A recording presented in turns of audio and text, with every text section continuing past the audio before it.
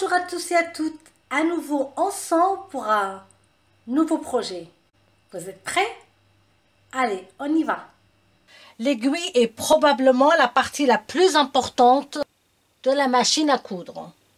Pour obtenir les meilleures finitions et réduire les problèmes, choisissez l'aiguille adéquate. Aujourd'hui, nous allons nous concentrer sur quatre différentes aiguilles. La standard, le jean, le stretch et ce qu'on appelle l'aiguille double universelle. Nous allons commencer par aiguille standard, la 705 qu'on utilise souvent. Celle-ci est valable pour euh, les tissus style drap, taffetas, flanelle, coton, etc. Un petit rappel pour les débutants. Donc quand on pique, on met toujours endroit du tissu contre endroit. Ça, c'est la base.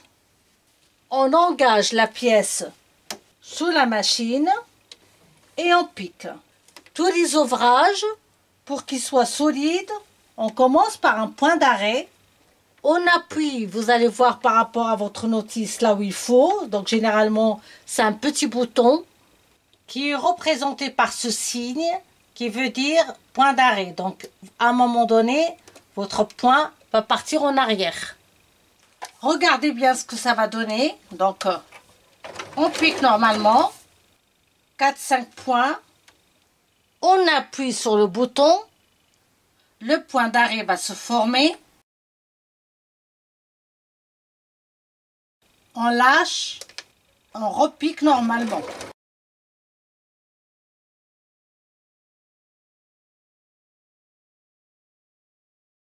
À la fin, vous allez faire la même chose. Appuyez sur le bouton.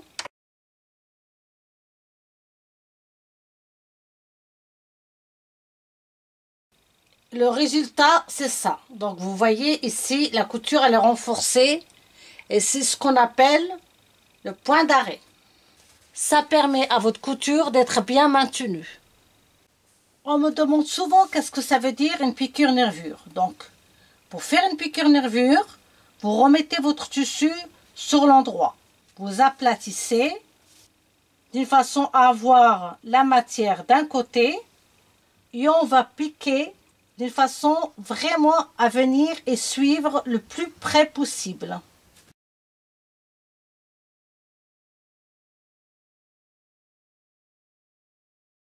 Souvent, on vous demande aussi de faire une surpiqûre de la valeur du pied presseur.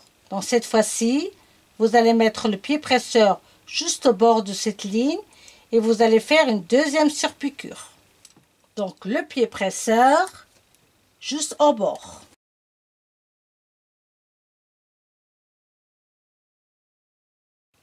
Je pense que c'est clair. Donc la nervure, c'est celle qui est le plus près de la couture.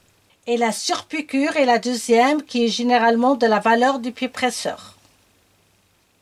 Pour coudre, toutes les matières épaisses comme le jean, le velours côtelé ou le tweed. Il est préférable d'utiliser les aiguilles spéciales jean. Vous allez remarquer bien sûr que l'aiguille est plus épaisse. L'enfiler de la même manière, endroit du jean contre endroit, piquer en faisant le point d'arrêt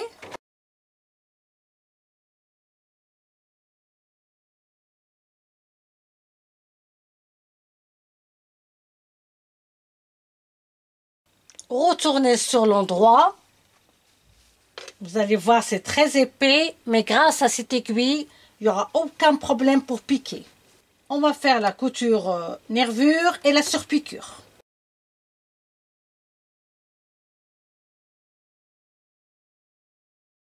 Voilà le résultat et vous verrez, vous n'aurez aucune difficulté à coudre le jean.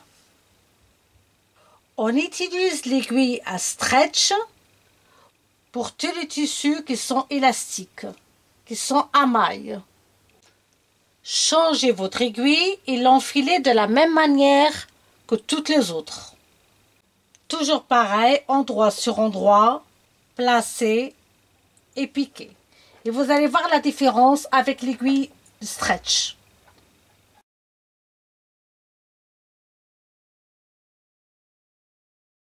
Le résultat, vous verrez, est vraiment surprenant. Pour les finitions, vous ferez toujours la même chose si besoin, nervure, surpiqûre, double surpiqûre, etc.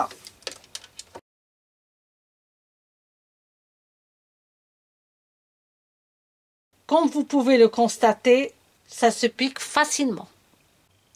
Passons à l'aiguille qu'on appelle twin universelle. Vous verrez, celle-ci, elle est composée de deux aiguilles. Donc la partie plate ici va être bien sûr derrière. Et la partie bombée, comme toutes les aiguilles, va se placer à l'avant. Positionnez votre aiguille et serrez votre vis, exactement comme toutes les autres aiguilles. Pour enfiler la machine, vous allez avoir besoin de deux bobines. Moi, j'utilise deux couleurs différentes juste pour vous montrer. Autrement, à vous d'utiliser la couleur adéquate par rapport à votre tissu. Donc vous allez avoir deux bobines. Enfilez votre machine comme vous avez l'habitude de faire en suivant la notice si besoin. Arrivez à l'aiguille, séparez les deux fils, le rouge dans une aiguille et le bleu dans l'autre aiguille. Donc c'est clair, chaque fil dans une aiguille.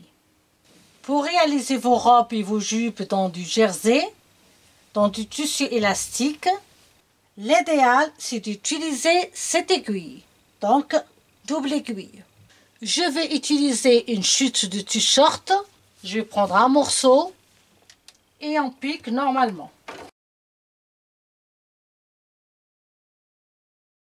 Comme vous pouvez le constater, vous voyez, vous avez double couture.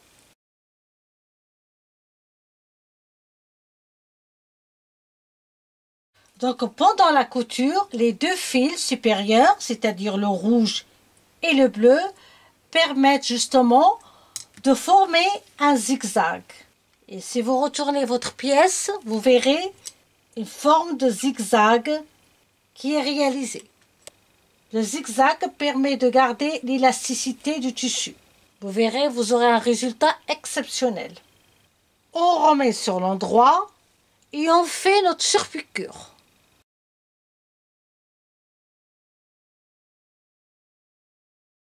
Vous avez constaté, donc c'est une belle finition. Et c'est quelque chose que vous pouvez réaliser pour faire les orlets, le bas de manche, etc.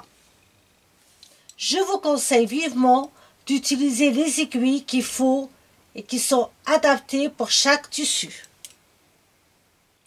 Vous avez aimé ce tutoriel? Alors partagez-le. Pour ma part, j'ai pris un réel plaisir à passer ce petit moment avec vous.